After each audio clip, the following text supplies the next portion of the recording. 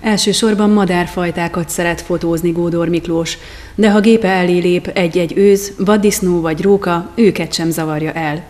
A jól elkapott pillanatokat és a hozzá kapcsolódó történeteket meséli el önöknek, a dányi fiatalember, aki szabadidejét természetfotózásnak szenteli nem kevés sikerrel. Kedvenc évszaka a tavasz, de a téli fényvizonyokat is kedveli. Fotózás szempontjából a vadász területe Dány és környéke, a Tápió vidéke, valamint a Gödöllői dombság. Írtad a blogodban, hogy madár szemüvegen keresztül átlátod a világot. Mi volt hamarabb a, a madarak, az állatok szeretete, vagy a fotózás? Hát mindenképp a, a természet, az így kicsit így végig kíséri az életemet. Tulajdonképpen mindig mást látok egy kicsit a természetből. Hát gyerekkoromban indult ugye a szokásos horgászszezonnal, ugye akkor csak, csak halszemen keresztül láttam a világot, aztán ez úgymond lezajlott, és hát volt egy rövid vadász éveim, hogy úgy fogalmazzak, erre mondjuk nem nagyon vagyok büszke, bár a vadvilágot nagyon nem károsítottam meg, mert akkor is inkább természetjárás, csavargás volt a lényege ennek a dolognak. Hát aztán egy olyan hat évvel ezelőtt körülbelül akkora kerültek ezek a digitális fényképezőgépek, objektívek ilyen elérhető árkategóriába, és akkor ismerkedtem meg ezzel a fotózással. Hát sokkal több élményt ad nekem, mint, a, mint az előzőek. Azóta mondhatom, hogy leragadtam itt a fotózásnál. Milyen technikával dolgozol? Hát nekem egy digitális tükörreflexes gépen van, többfajta cserélhető objektívvel, leginkább a tele objektívek azok, amik a munkámhoz szükségesek. Jelenleg egy a 3-4 objektíven van, illetve egy gép, szokásos kiegészítők, állványok, vakuk, stb. De nagyon fontos megjegyeznem, hogy az egyik legfontosabb dolog ebbe a témába a saját magam készített leshelyek. Tehát úgy gondolom, hogy az egész fotózás, a természet fotózása az elsősorban a, a természetnek, meg a madaraknak az ismeretéből fakad, és nyilván minél jobb technika, technika ezt csak mint plusz kiegészíti úgyhogy inkább első helyre tenném a saját magam által készített leshelyeket. Akkor meglátsz egy madárkát, akkor rögtön tudod, hogy milyen fajta, vagy utána kell nézni? A 95%-át azt már tudom, 99-et. Az igazság, hogyha az ember ebbe a közegben mozog, akkor tudja, hogy az adott időszakban, az adott élőhelyen milyen madarak mozoghatnak, tehát minek van realitása, és ez azért nagyban megkönnyíti illetve hang alapján is azért jó pár madarat be tudok azonosítani, de a madaraknak a nagy többsége az általában egyből megvan. Hogyha valami különlegességet látok, az is lejön, tehát a, hogy akkor az, az, az érdekes, esetleg arról egy kevésbé jó sikerült fotó is úgymond érdekesnek számít, de egyébként majdnem minden madár megvan már. Szabad-e tudnunk, hogy ezt, ezt ez, hogy találod ki? Tehát este ki gondolod, hogy akkor te most egy gébicset fogsz fotózni, és arra készülsz rá, vagy hogy kell ezt elképzeljük? Általában azért ennek kell, hogy legyen valami realitás alapja. Tehát én hiába gondolok ki valamit, aminek nincs realitás, hogy itt fényképezzek, és hát ez úgy, úgy történik, hogy az adott időszakban hát elég sokat jövök, megyek, csavargok, határba, stb és megláttuk valami érdekességet, ami akkor éppen elérhetetlen távolságban vagy helyen van, és akkor így elkezdek egy kicsit morfondírozni rajta, hogy hát mit lehetne ezzel kezdeni. Van, hogy, hogy, hogy csak megállok és csak órákig figyelem a, a szokásait, mit csinál, merre mozog, stb. És, és akkor rájövök ezekre a dolgokra, hogy, hogy, hogy honnan lenne érdemes ezt lefotózni. Nyilván a kulcsa az egésznek, hogy minél közelebb kerülni, tehát itt egy jó madárfotóhoz azt mondom nyilván madár függvényébe, de, de ilyen 8 és, és 20 méter közötti távolságra igazából oda kell, hogy kerüljön az ember. Ez a legnehezebb, ez a kulcsa a dolognak. Utána aztán már csak technika kérdése, meg utómunka kérdése, hogy az ember ebből mit tud kihozni. A Dányi tükörben már láthatták a fotóidat, de volt-e kiállításod? vagy lesz-e a közeljövőben? Volt kiállításom itt falu szinten, meg Tápió vidékén is volt egy ilyen vándorkiállítás, az mi lehet, hogy most tanában is zajlik. Egyébként tervezek közeljövőben kiállításokat, de még ennek igazából nem dolgoztam ki a, a részleteit. Van-e olyan madárfajta, akit nagyon-nagyon szeretnél lefotózni, de mondjuk elérhetetlen? Sok madárfaj van, amit még szeretnék lefotózni. Vannak ritkaságok. Igazából rétisas az, ami mindenkinek egy kicsit a szívecsücske, ugye az egyik legnagyobb madarunk. és nekem igazából van róla képem, de nem olyan tökéletes, amit én elterveztem, és nagyon bizalmatlan, nagyon nehezen fotózható madár. Van egy pár rétisos a környéken, ők általában itt a Tápió vidékén mozognak, Tápió, Szecsői és környéke, úgyhogy én már tulajdonképpen második vagy harmadik éve próbálkozok a rétisasnak az én általam elképzelt fotó elkészítésével, de még ez nem sikerült. Idei ítélen sem fog sikerülni, úgy nézem, mert nagyon enyhe tél van, és nem, ilyenkor nincsenek annyira rászorulva a madarak, hogy, hogy úgymond a talált eleséget elfogyasszák. Hát nem tudom. Ha te madár lehetnél, akkor milyen madár lennél? Hú, ezen még nem gondolkodtam soha. Hát valószínűleg valami ragadozó madár lennék, mert azért láttam egy-két aranyos kismadarat, amit a szemem előtt ragadott el valami ragadozó, és hát akkor nem lettem volna a helyébe, úgyhogy én szerintem valami villámgyors ragadozó madár lennék. Miklós házának belső falait természetesen fotói díszítik, melyeknek történetük van. Minden fotódnak komoly története van, meg ugye említetted, hogy nagy rákészülést igényel. Ezt a madarat hogy kaptad el? Hát a képen látható madár egy engedélyszőv, és hát mint említettem, nekem több leshelyem van. Általában ilyen fix leshelyeket építek, amit nem kell hozni, vinni, hanem egy adott terület tulajdonosával le van egyeztetve, és ez tulajdonképpen évekig ott funkcionál.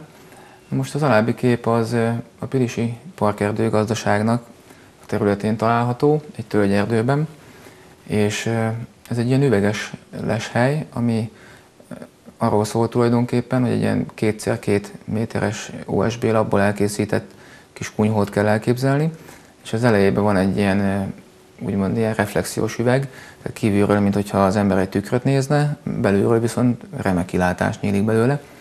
És hát ez nyáron nekem itatóként funkcionál, mm, télen pedig etetőként, és hát ezt az őjvet, ezt, ezt végül is úgy sikerült lefényképeznem, hogy hogy szinte nem is fotózni mentem ki, hanem csak etetni. És hát kisfiammal kimentünk, mindössze egy 20 percet tartózkodtunk a lesben, de természetesen tehát itt is be volt állítva minden, tehát ez a beülő is ugye el, előre el volt készítve, a háttér is ki volt számítva, hogy hol történik ez a háttérelmosás, ami a képen látható, de ilyen esős idő volt, úgyhogy nem nagyon vártam semmi különöset. Aztán kimentünk, kitettük a kismadaraknak a napraforgót, és hát ott egy kicsit mondom, akkor elücsörgünk úgymond, és akkor megnézzük, hát ha jön valami. Kisfiam közben ott tologálta a markolót, meg stb. És tulajdonképpen szerintem 10 percet se voltunk a leskunyhóban, amikor beszállt ez a, az egérészőv, és hát egész különlegesen ázott volt a bundája. Tulajdonképpen nagyjából ennyi a les története, ebbe, ebbe úgymond az az izgalmas, hogy, hogy ez tényleg egy, egy nagyon szerencsés kép. Tehát a megfelelő beállítások után egy, egy 10-15 perc várakozás után mindössze már sikerült ezt a fotót elkészíteni. Nagyon örültem neki, mondanom csak el. Következő képen egy gulipán látható. A gulipán ez ilyen mocsarak, ilyen vizes, tocsogós részek madara, és erre a gulipára szintén nem számítottam, úgyhogy tulajdonképpen ez a tápjószacsőtónál e, történt ennek a fotózása, és egy előző napi fotózás követően este jöttünk ki a Leskunyhóból a egyik fotós barátommal, és átmentünk a mellette lévő tóra, amit tudtunk, hogy ilyen, ilyen mocsaras, és ilyen parti madarakat láttunk ott, amit még egyikünk se fotózott. Elhatároztuk, hogy másnap hajnalban ott kezdünk a, ennél a következő tónál, és körülbelül egy olyan 35-40 perces küzdelem árán végül is nagy nehezen sikerült átmennem a mocsáron, és átküzdöttem magam a túloldalra, mert tudtam, hogy a fények azok onnan lesznek jók, illetve a háttér is, meg hát a madarak is ott mozogtak, és valahogy éreztem, hogy ennek kellene a jónak lenni, de nagyon nehéz volt átmenni, tehát tényleg átmászni a mocsáron. És hát gólyatös nevű kismadarat, illetve ezeket a, a egyéb parti madarakat vártam volna, ezt a gulipánt addig nem is láttuk, és teljesen váratlanul megjelent a les sátram előtt, egy ilyen fekvő les sátorban voltam, és ez egyébként elég jellegzetes mozdulat, amivel ez a, ez a gulipán általában ilyen 5-10 percenként szokott ilyen nyújtózkodó mozdulatot végezni. Úgyhogy ez, ez a kép ez ott készült. Hát ennek is nagyon örültem ennek a képnek, mert erről a madáról még nem volt eddig fotóm, és hogy ilyen jó fényeknél, meg jó pozícióba sikerült elkapni. Ez a kép egyébként ki volt állítva Pécsen egy kiállításon, most így eszembe jutott utólag. És egyébként ez őshonos madár? Ez vándor madár, tehát ez csak nyáron tartózkodik nálunk, itt költ, de télire elvonul. Ezen a képen egy kis pöcsök látható, szintén egy költöző madárfajunk, kisebb halakkal, csigákkal, ilyesmikkel táplálkozik. Ez a kép ez az egyik legkomolyabb lesünkből készült, ezt négyen készítettük ezt a leshelyet. Ez a tápjószecsői tónál van szintén, és ez egy olyan leskonyhót kell elképzelni, aminek a négy sarkába négy ilyen, ilyen vas szem található, és ebben a vas szembe a négy sarkánál négy cövek van levelve az iszapba. Tulajdonképpen ez az egész leskonyhó egy ilyen 30-40 cm magasságú vas tepsibe van, és követi a víznek a mozgását. Elég sokat ingadozik ott a víz, illetve télre leengedik, lehalászás, stb. És hát ez egy kétnapos fotózás egyik eredménye ez a kép.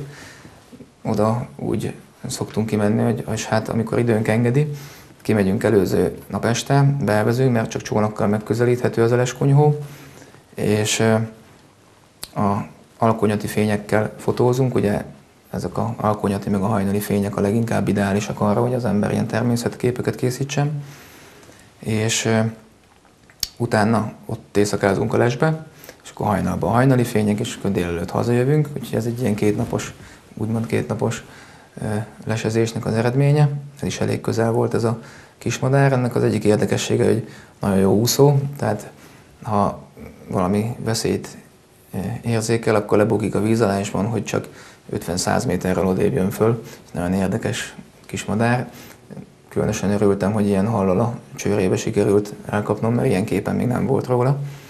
Igen, pont ezt szerettem volna kérdezni, hogy egyébként milyen érzés az, amikor tehát ennyire a pillanatnak a tört részét elkapod, tehát hogy még nincs, nem nyelte le, de már kint van a vízből. Hát igen, ez amíg az ember vissza nem nézi a, az LCD-n, addig nagyon bizonytalan, hogy mi általában amit tudunk, azt megteszünk, meg, meg beállítjuk a megfelelő dolgokat, és hát innen jön egy kicsit képbe a technika, hát ezek a gépek azért 4-5-6 képet is tudnak másodpercenként, és tulajdonképpen innen már csak a szerencse kérdése, a megfelelő fókusz beállítása után szerencse kérdése, hogy éppen bemozdul-e, mennyire mozdul be, még lenyelte, már lenyelte, stb. Úgyhogy ez, ez, ez, ez szerencse is ez a dolog.